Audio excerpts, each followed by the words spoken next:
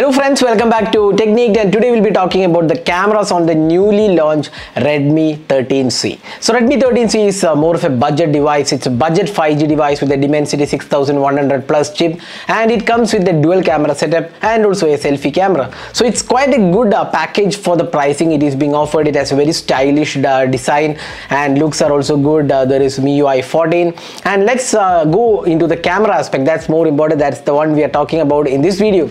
So let's talk about the cameras on the Redmi uh, 13 5G and see how good the performance is in case you are looking for a budget device with a decent camera setup. So let's find out. So before that, if this is your first time on this channel, do hit that red subscribe button and also hit the bell icon to get notified of all the videos we publish. So let's talk about the camera hardware first. Now being a budget device, there is just a dual camera setup. The primary camera is a 50 megapixel shooter, f1.8 aperture. Then uh, you get uh, a depth sensor. There is no macro, there is no ultra wide. That's quite obvious considering the price segment. Now on the front panel, uh, you have uh, a 5 megapixel shooter, f2.2 aperture. That's the camera setup. So the primary 50 megapixel f1.8 and uh, front uh, 5 megapixel f2.2 aperture.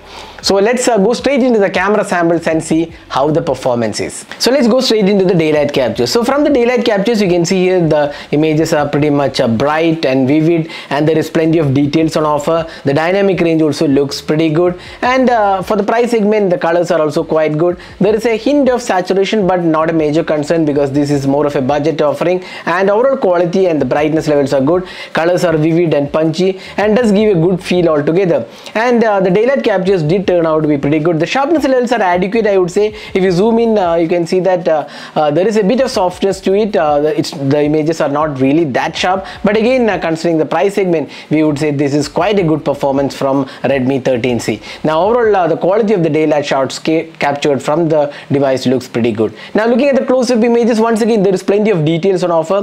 The sharpness levels are once again adequate. The colors are rich and vivid and offers good clarity as well. So, we would say say the overall performance of the rear camera in uh, daylight conditions and also close-up shots looks pretty good overall. So uh, if you are a person who is looking for a budget offering you won't be disappointed as such uh, with the camera performance of this device. Now looking at the portraits once again we are quite impressed with the portraits. The edge detection is done pretty good. The colors are once again uh, quite okayish i would say. Nothing much to complain here. Also the uh, the colors are more or less uh, okayish. Even the skin tones looks pretty good. And overall uh, the quality of the portraits looks quite acceptable. Now looking at the uh, low light shots this is one area where the performance isn't that impressive but obviously this is more of a budget device so you can't expect uh, extremely high low light capabilities. But here you can see if you switch on the night mode there is decent amount of details. Although the sharpness levels are uh, not that great uh, the images are soft and lacking details when you zoom in or in extreme low light conditions but i would say it's kind of acceptable uh, for this price segment. Again i would say there is a bit of compromise considering the price segment. Now looking at the selfies, this is one area where we were really impressed. Uh, the 5 megapixel does pretty well. Uh, the skin tones are quite okay. There is uh, good dynamic range. The colors are rich and uh, wide and uh, the skin tones are also quite okay for the price segment it is being offered. So again the selfies did pretty well job overall and even the portrait selfies I would say it's kind of average performance. Edge detection is not that impressive but overall I would say the selfies did turn out quite acceptable considering the price segment it is being offered.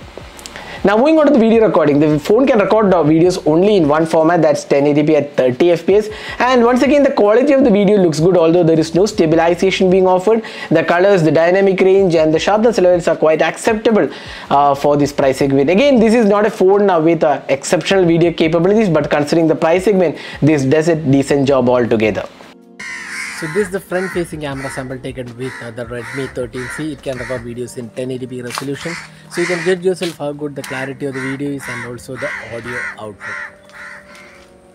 So that is the camera performance of the Redmi 13C. So overall as a camera smartphone in the budget segment, the Redmi 13C does pretty good job especially with the daylight captures, the close-up, the portraits, the selfies and the video recording also came out quite good for the price segment it is being offered. That's more important. This is more of a budget 5G device and for that price segment we feel this is definitely good uh, cameras on the Redmi 13C. The only area where uh, it was not that great was uh, obviously the low light performance because it's uh, it's a budget device so low light Performance you can't expect uh, really great but still it managed to produce decent results with uh, the night mode turned on.